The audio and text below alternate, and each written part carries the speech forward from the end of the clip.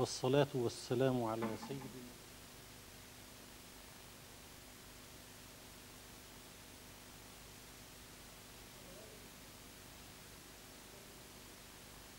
بسم الله الرحمن الرحيم الحمد لله رب العالمين والصلاة والسلام على سيد المرسلين frères, Assalamu alaikum wa rahmatullahi wa barakatuh. Je suis heureux de vous présenter aujourd'hui une nouvelle série d'émissions consacrées aux cinq piliers de l'islam sous le nom Enseignement de l'islam. J'ai l'honneur et le grand plaisir de recevoir ici Cheikh Mohamed Dahawi, le recteur adjoint de la mosquée de Paris et l'envoyé spécial du ministère des Affaires religieuses en Algérie pour nous parler de Al-Zakat. Cheikh Dahawi, voulez-vous avoir l'amabilité de nous dire la signification du zakat en islam? Merci infiniment, Monsieur Mahfoud, de m'avoir invité à cette émission. Et j'ai l'honneur de parler aux chers auditeurs d'un des piliers de l'islam qui est al-zakat. Avant tout, je me permets de vous citer les cinq piliers de l'islam. Le premier, c'est la profession de foi, d'où tout, individu que son cœur est illuminé pour embrasser l'islam doit certifier que le Dieu est unique, il n'a pas d'associé, euh, que Sayyidina Mohammed, il est son messager ou son envoyé, son prophète. Aussi, le deuxième pilier, c'est la prière. Nous avons cinq prières par jour.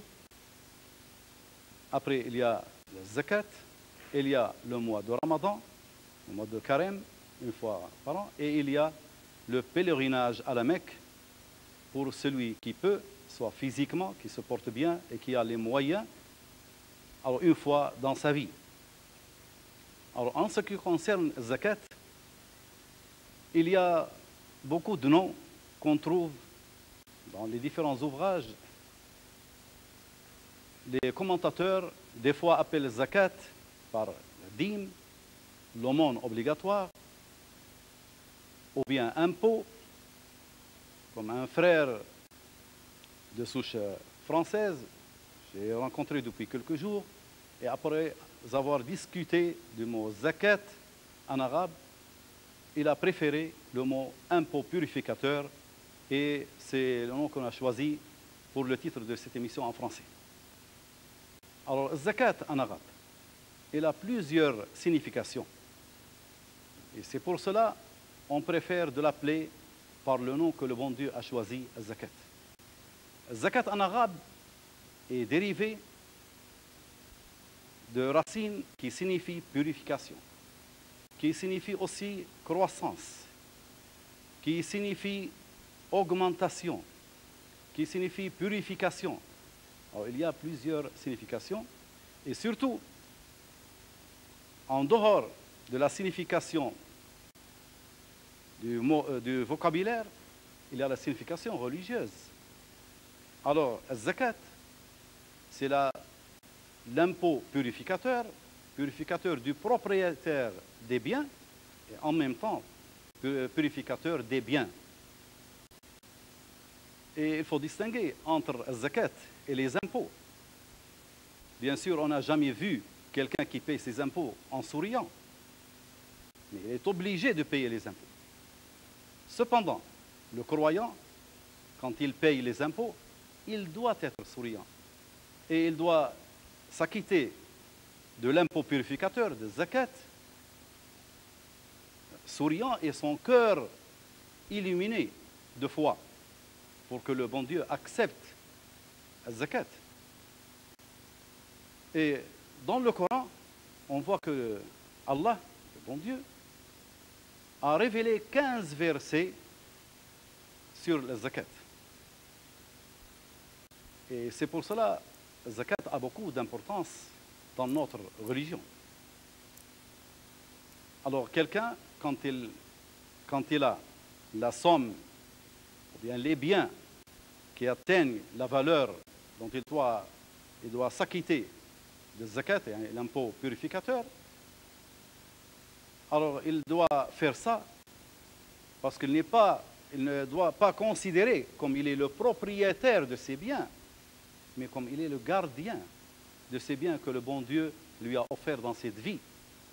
Et c'est pour cela, quand il s'acquitte de zakat, il doit croire, quand il, fait, quand il s'acquitte de zakat, comme quand il fait la prière, quand il fait le carême, le mois de Ramadan, ou bien quand il fait le pèlerinage.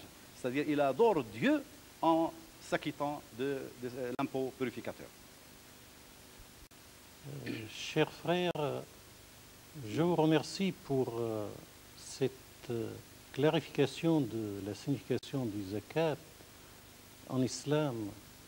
Il est vrai que c'est un acte d'adoration et non pas un acte de payer un impôt que beaucoup malheureusement l'ignorent. Voulez-vous nous parler maintenant de à qui on peut payer un zakat? Oui, si vous permettez, avant de dire à qui, on doit savoir quand est-ce qu'on doit payer zakat. Alors, ce n'est pas tout musulman, tout cro- croyant qui doit payer zakat, parce que s'il est pauvre, il n'a rien à payer. Mais euh, celui qui atteint ou qui possède une somme déterminée. Par exemple, ce qui est estimé cette année, celui qui possède 10 000 francs français, par exemple, puisque nous sommes en France, celui qui possède 10 000 francs français, et depuis un an, il n'a- il n'avait pas besoin de cette somme, il doit s'acquitter de zakat. Mais ce n'est pas la question de l'argent liquide. Il peut avoir des biens, il peut être un commerçant, ou bien quelqu'un qui possède par exemple des moutons. Alors il y a une loi déterminée pour la possession des biens. Alors on ne peut pas dire ça tout en détail parce qu'on est limité par le temps, mais on peut citer un exemple. Celui, par exemple, qui a 40 moutons depuis un an, c'est l'essentiel, il faut qu'il ait ça depuis un an, alors il doit euh, offrir un mouton parmi les 40. Et quand ça augmente, bien sûr, le zakat augmente. Et on trouve une nuance dans le Coran, dans les 15 versets que j'ai parlé tout à l'heure, le bon Dieu dit dans ces versets, il faut pratiquer la prière et il faut payer ou s'acquitter de zakat.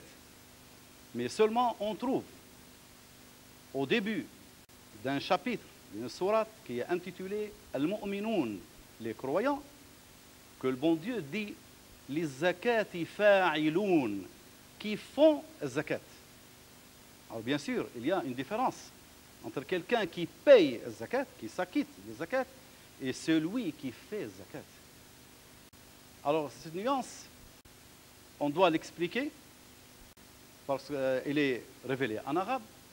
Alors quelqu'un qui, qui fait zakat, le terme que bon Dieu a choisi, c'est celui qui travaille studieusement et continuellement.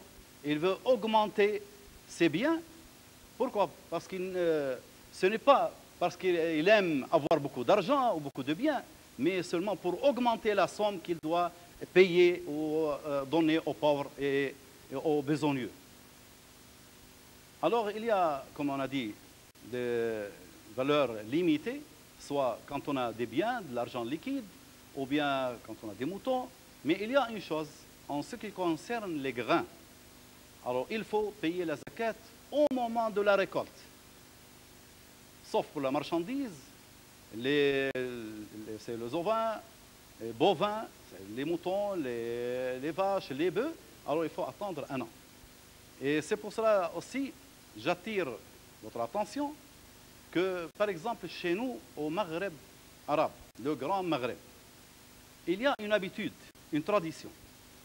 C'est que tous les musulmans du Maghreb arabe, ils pensent à la zakat au moment où arrive le jour de l'an égyrien, le jour de l'an musulman. Alors, ils payent la zakat dix jours après, c'est-à-dire le jour de l'Ashura. C'est une tradition, mais ce n'est pas une obligation de la religion. Parce que la religion nous oblige de s'acquitter de zakat, ou bien de faire zakat comme euh, le bon Dieu l'a révélé, quand on a ses biens depuis un an et quand on n'a pas besoin. Par exemple, quelqu'un qui a 10 000 francs, il a acheté une voiture, alors il ne paye pas la zakat, mais il paye la zakat lorsqu'il vend sa voiture. Et pour l'année de la vente de la voiture ou de la marchandise. Alors, euh, il y a cette habitude au Grand Maghreb, mais quand même, on ne dit pas qu'ils sont trompés. Parce qu'il y a, dans la parole du prophète, celui qui lance une bonne habitude, il est récompensé par Dieu, lui et tous ceux qui le suivent. Et on voit que c'est une, une, bonne habitude, parce qu'il y a des gens qui ne pensent pas à la zakat, qui oublient, parce que d'habitude, les commerçants, c'est un exemple, ils font l'inventaire toujours le jour de l'an. Alors les musulmans, et surtout au Maghreb arabe, ils ont pensé à ça. Alors pour se rappeler de la zakat, ils s'acquittent, ils ont l'habitude de euh, s'acquitter ou bien de payer, de faire la zakat le jour de l'Ashura. Mais d'où vient cette habitude? C'est du mot Ashra en arabe. Ashra, ça veut dire 10. Et Ashura, Ashura, c'est le jour où le bon Dieu a sauvé Moïse de Pharaon, c'est un jour de fête chez les Juifs, aussi c'est un jour vénéré et respecté chez les musulmans. Alors le mot Ashura en arabe, ça vient du nombre de chiffre 10, c'est-à-dire le dixième jour du jour de l'an égérien, lunaire, musulman, qu'on appelle Ashura. Alors zakat, on paye 2,5%. On appelle en arabe le quart du dixième. Pour la récolte, on paye le dixième. Si les grains, par exemple, le blé ou l'orge, il est arrosé par la pluie. Mais on paye la moitié lorsqu'elle est arrosée par nous-mêmes. Quand on a, par exemple, acheté un moteur, ou bien on a un puits, on arrose, alors il y a beaucoup de frais. Alors euh, le bon Dieu, il a permis pour payer la moitié, c'est la moitié du dixième. Et c'est pour cela qu'il y a une ressemblance entre Ashura et l'Ushur, le dixième. Quand même, c'est une bonne habitude appliquée au Grand Maghreb. Alhamdulillah qu'il y a de très bonnes habitudes.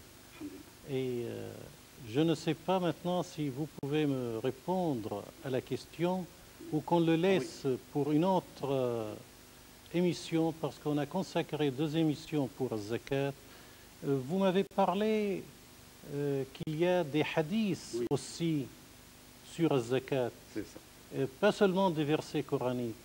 Voulez-vous avoir la gentillesse de clore cette émission par quelques hadiths du prophète salam concernant le zakat Si vous permettez, avant de répondre à votre euh, intéressante euh, question, je me permets de citer, mais brièvement, c'est à qui on doit donner zakat c'est la deuxième question que vous avez posée? Alors, je crois que nos chers auditeurs qui, m'ont entendu quand j'ai lu le Coran, euh, dans le deuxième verset, le bon Dieu a révélé à qui on doit donner zakat. Alors, le bon Dieu dit Innama sadaqatu lil fuqara wal masakin, aux besogneux et aux pauvres.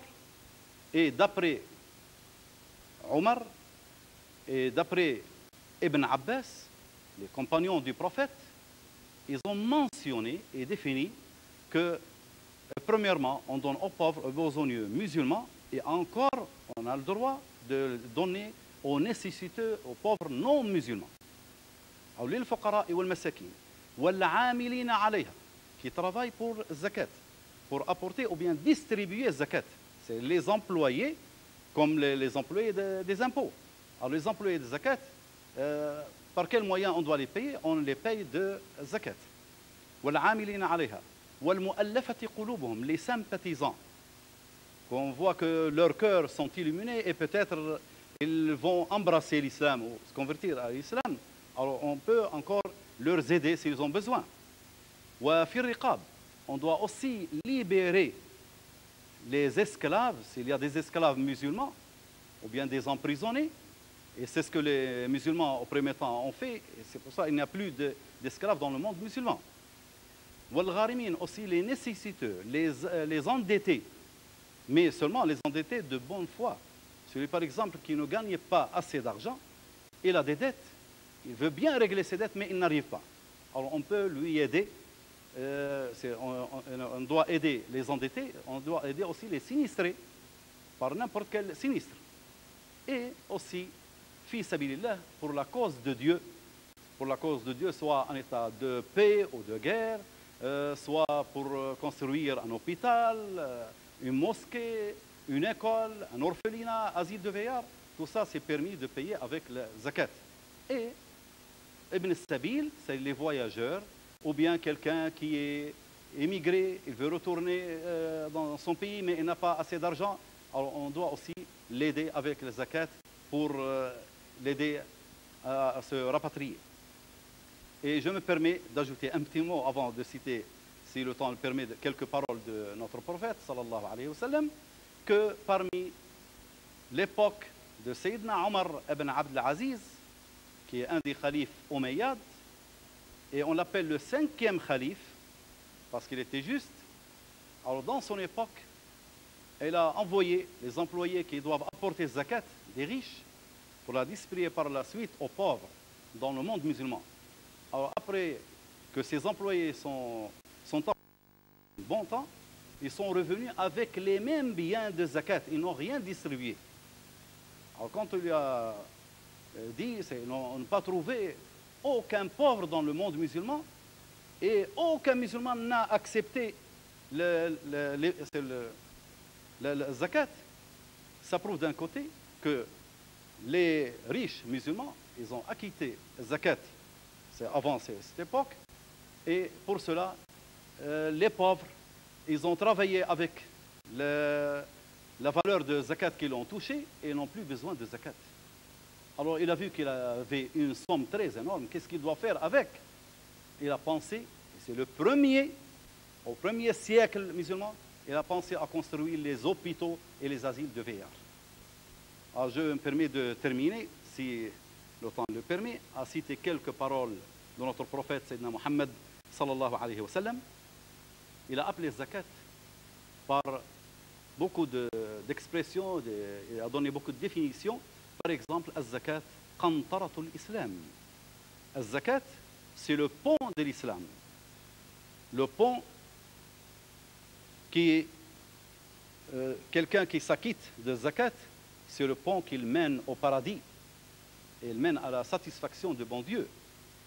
Az zakat, iman, la purification de la foi. لا يقبل الله الإيمان إلا بالزكاة. Dieu n'accepte pas la foi de quelqu'un s'il ne s'acquitte pas de zakat et il n'a pas de foi s'il ne paye pas ou ne fait pas zakat. Une autre aussi parole, le prophète dit La iman liman la salata lah, wa la salata liman la zakata lah. Celui qui ne pratique pas la prière, il n'est pas un bon croyant. Et aussi, même s'il fait la prière, Dieu n'accepte pas sa prière s'il ne s'acquitte pas de zakat. Il dit aussi. Purifiez vos biens avec zakat.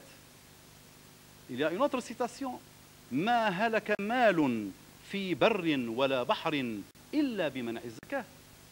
Pas de biens détruits sur terre ou sur mer. Euh, si, ces biens sont détruits, c'est à cause de l'interdiction de zakat, à cause de, des gens qui ne payent pas leur zakat. Et encore la parole, une, autre parole du prophète, il dit. Celui qui est obligé à faire zakat, c'est celui qui est riche, qui a la somme où il doit s'acquitter de zakat, et il ne paye pas zakat aux pauvres, aux nécessiteux, aux besogneux, aux sinistrés, il est en enfer. Même s'il pratique la prière, même s'il fait le carême, s'il pratique le jeûne du mois de Ramadan, même s'il fait le pèlerinage. Et encore, le prophète Sayyidina Muhammad sallallahu alayhi wa sallam dit Man mana'a zakat, mana'a Allah ta'ala anhu mal. Celui qui ne s'acquitte pas de zakat, Dieu le, euh, prive de, ses biens et il ne sait pas par quels moyens.